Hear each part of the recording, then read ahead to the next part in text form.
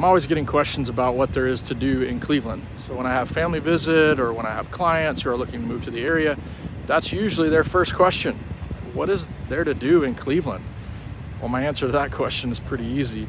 There is plenty to do here. So today I'm gonna walk you through a place that I think is one of the must visit attractions in all of Cleveland. So stay tuned.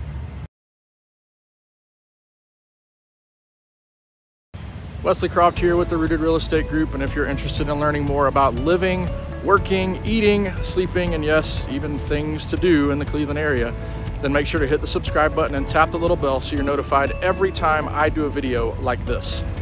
We get phone calls, emails, text messages every day from people who are moving or relocating to the Cleveland area and well, we absolutely love it.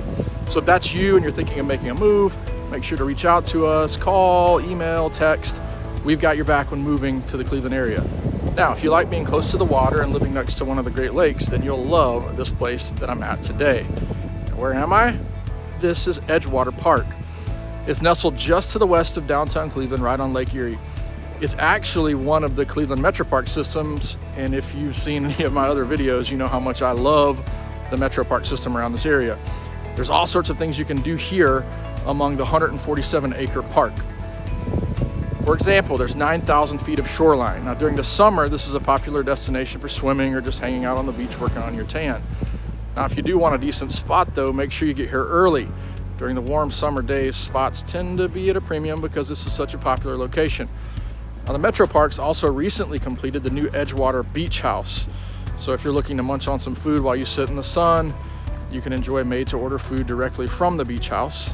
Now if you're into cold drinks, there's also a seasonal bar that's open as well so they can definitely take care of you on that front. So what happens if you get here to Edgewater Park to hang out for the day, but you realize you forgot your chair or your umbrella? Well, don't worry, they've got you covered there too at the Edgewater Nature Shop. So while you're there, you can rent chairs, cabanas, umbrellas, and even paddle boards uh, if you're itching to get out onto the water. Now you can also grab snacks and even shirts and hats if that's your thing. Now, do you enjoy fishing? They can certainly accommodate that at Edgewater Park. Also, so this pier juts out 200 feet into Lake Erie and is perfect for fishing or just taking a peek at the Cleveland skyline.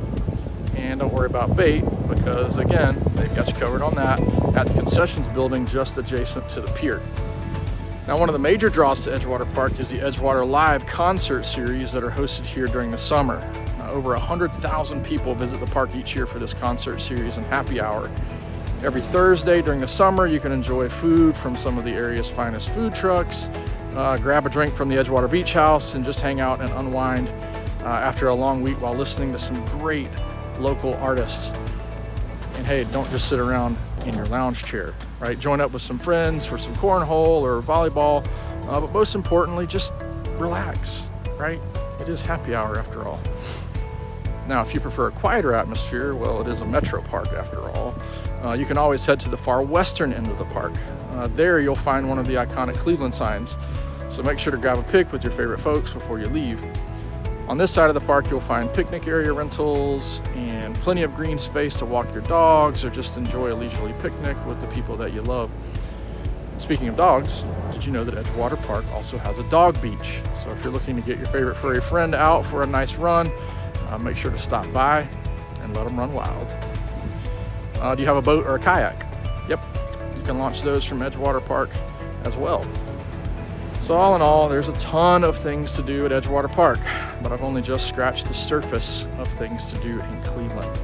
So if you're interested in learning more about what it's like to live in the Cleveland area, make sure you hit the subscribe button and tap the little bell so you'll be notified every time I do a video like this. Take care.